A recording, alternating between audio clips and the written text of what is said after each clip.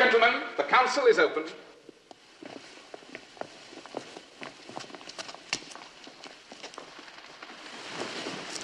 Gentlemen, I've called you here to find out why a simple request for taxes causes such unpriestly caterwauling. My lord, We must come to an understanding about who rules this kingdom. The church? my lord, I wish to ask. Just a moment, Archbishop. The church or me? There are many troublesome issues between us which call for a reckoning.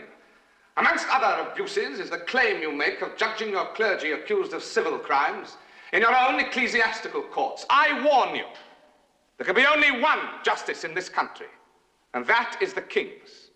But before we quarrel, here is some happy news. I have decided to revive the office of Chancellor of England, Keeper of the Lion Seal, and entrust it to our loyal servant, Thomas Becket.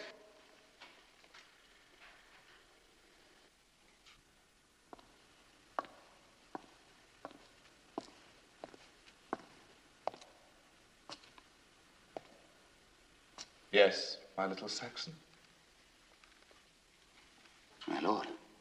Well, for once, I've taken you by surprise. My lord, this is a stupendous honor for which I may not be worthy. I'm uh, inexperienced in these matters and frivolous by nature. Rubbish. You know more than all of us put together. He's read books, you know. It's amazing. He's drunk and wenched his way through London, but he's thinking all the time, aren't you, Thomas? He'll checkmate the lot of you. Even you, Archbishop. I never did anything without your advice. No one knew it. Now everyone will. That's all. There. That's the Great Seal of England. Don't lose it. Without the seal, there's no more England, and we'll all have to pack up and go back to Normandy. May I crave leave to greet our young and learned friend? For I noticed him when he was first made archdeacon. Thank you, Archbishop. But don't rely too much on Becket to play your game. He's my man. I'd forgotten you were an archdeacon, Thomas. So had I, my prince. Now to business. The law demands that every landowner send soldiers to give me service or pay a tax in silver. Is that correct? I have heard so, my lord. We are about to cross the channel to force Louis of France to return the Norman towns he has taken from us.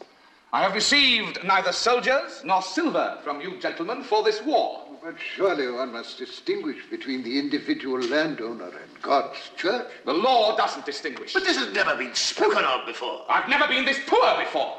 Now I've made up my mind, and I'm passing round the plate. Just drop in the money. Ooh, my backside's sore. They're all. Count your blessings, sire. Don't know about you, Thomas, but I'm starving. Have them bring us something to eat. A layman who shirks his duty and fails to supply his king with arms should pay the tax. Nobody will question that.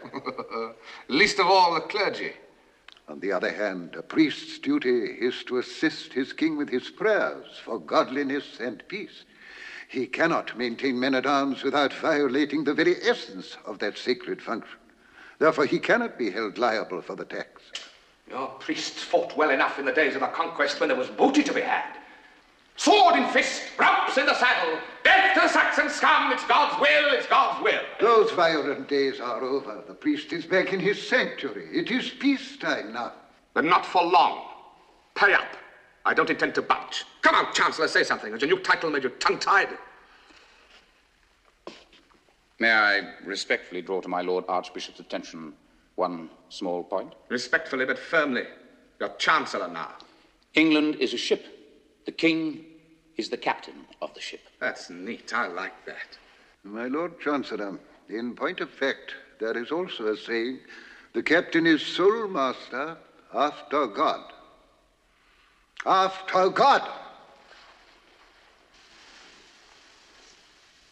Nobody's questioning God's authority, Archbishop. Well, certainly, God protects the ship by inspiring the captain, but I've never heard that he determines the wages of the crew nor instructs the paymaster in his duties. God has more important business. Our young deacon's ambition has carried him away from the church. But he cannot have forgotten that what is important is revealed to man only through his church, in the person of our Holy Father in Rome, his bishops and his priests. Or does the Chancellor think otherwise? True, there is a priest on board every ship. He gives God's blessings. but neither God nor the church ask him to take the wheel from the helmsman. My Reverend Lord, the Bishop of London, who I understand is the son of a sailor, surely cannot have forgotten that.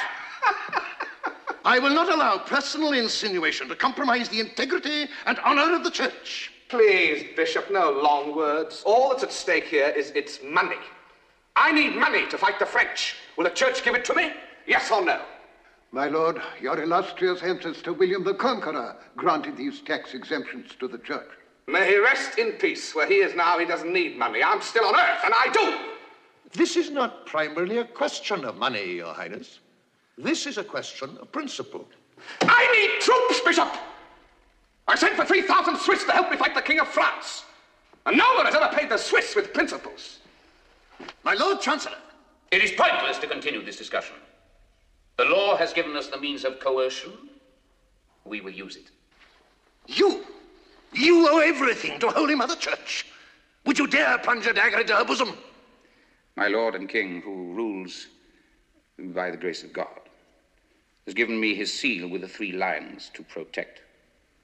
My mother is England now. Traitor! Saxon! My reverend friend, I strongly suggest that you respect my chancellor, or else I'll call my guards. Ah, here they are now.